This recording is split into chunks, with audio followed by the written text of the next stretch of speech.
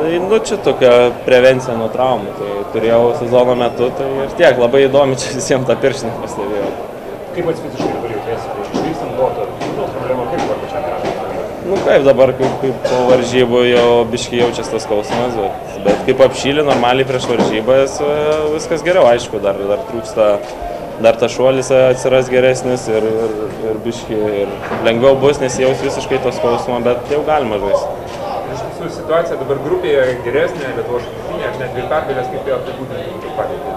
Nu kaip, šita pergalė nieko nereikš, jeigu nelaimėsim prieš Ukrainą. Tai jei laimėsim prieš Ukrainą, viskas gerai ir tada liks vokiečiai.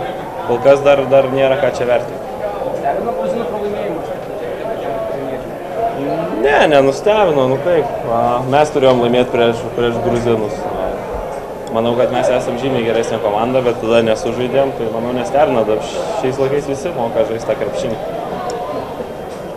Ačiū. Dėkui.